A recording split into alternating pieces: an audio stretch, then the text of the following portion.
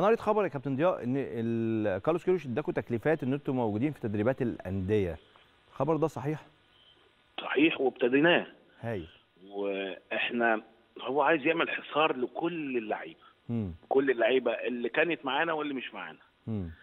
حصار إن الناس كلها تعرف إنه ممكن أنا أجي من بعيد ممكن كريم يجي من بعيد. عظيم محتاج إنه بيجتهد إن هو يبقى له دور كبير جدا في الماتشين دول. وده اللي إحنا بنعمله.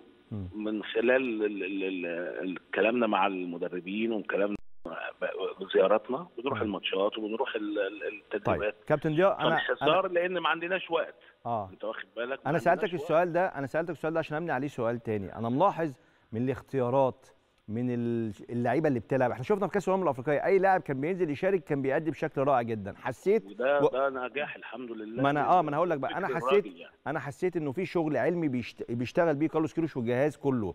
إنه إحنا بنشتغل على أمور فنية وبنشتغل كمان على الاستاتستكس والأرقام اللاعبين ديت ومجهودهم. الكلام اللي أنا اللي أنا حسيته ده حقيقي بيحصل؟ وأكتر كمان. وأكتر. سيبنا بقى عشان إحنا بنتلسع 10 ساعات جوه الأوضة ما بنطلعش إلا مفرفرين يعني. 10 ساعات. آه بنعمله بنعمله آه. على طول طول الوقت طول الوقت. هاي. لك ان تتخيل امم يعني حاجة جزئية بسيطة جدا. أنت تبقى مخلص ماتش فيه كل الخناقات مم. بال 120 دقيقة وأول ما ترجع بعد العشاء تخش الأوضة. الله ده. تبتدي تشتغل على الماتش اللي جاي. امم الأول تشتغل على الماتش اللي إحنا لعبناه لسه مخلصينه. ونشوف لو نطلع الحاجات ويتقطع بسرعة. وبعد كده تبتدي تشتغل على اللي جاي.